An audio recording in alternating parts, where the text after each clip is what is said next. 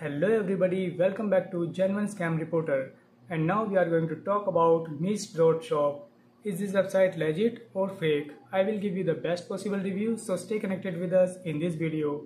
Mist is a web-based adornment organization presently moving in the United States. There are various choice for adornments and accessories at a reasonable cost. The site was created in May 2022, which is exceptionally later.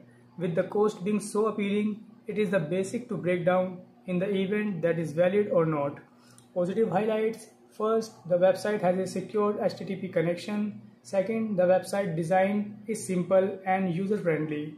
Third, the price of all the products are low and affordable. Some negative highlights First, the privacy policies are not described. Second, the address of the website does not seem legit. Third, the refund and return policy is not stand correctly.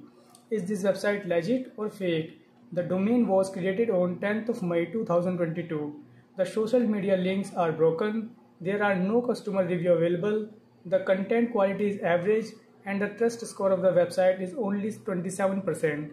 So what do you think about this website? Do let me know in the comment section and if you like our video, subscribe our channel. Thank you.